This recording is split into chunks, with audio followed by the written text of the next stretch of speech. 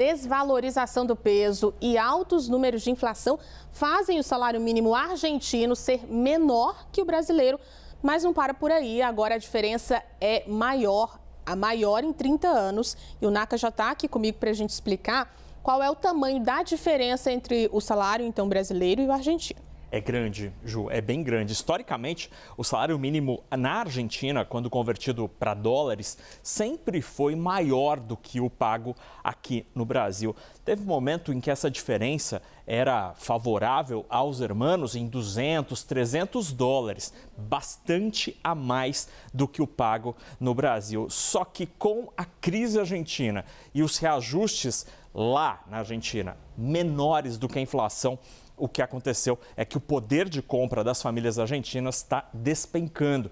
E agora, neste momento, começo de 2024, o Brasil tem um salário mínimo substancialmente maior em dólares do que na Argentina, é, com a maior diferença em 30 anos desde o início do Plano Real. A gente separou alguns números. Primeiro, contando, Ju, o que foi anunciado pelo governo Javier Milei nas últimas horas, que foi o reajuste do salário mínimo em 30%, em dois aumentos, primeiro em fevereiro e depois em março. Isso levará o salário mínimo argentino para 202 mil pesos, o que dá 242 dólares pela cotação oficial. As aposentadorias também aumentaram um pouquinho menos, 27%. Ali a aposentadoria mínima é de 160 dólares, menor do que o salário mínimo na Argentina. Mas a inflação na Argentina em 12 meses está girando num patamar de 250%.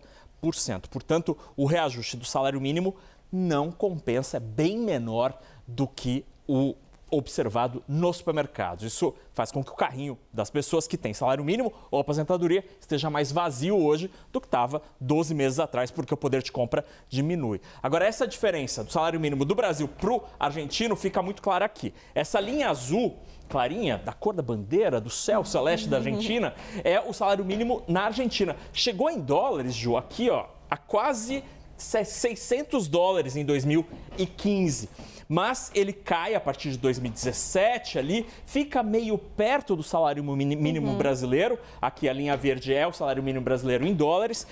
E desde o finalzinho do ano passado, a curva se inverte. Chegou a ter uma diferença de 97 dólares agora no mês de janeiro. Agora em fevereiro está uma diferença um pouquinho menor, 60, 70 dólares. Em dólares, o nosso salário está em 285 dólares e o deles 242 dólares. Dá uma diferença quando a gente converte para reais de quase 300 reais. É uma situação bem diferente do histórico dos últimos 30 anos.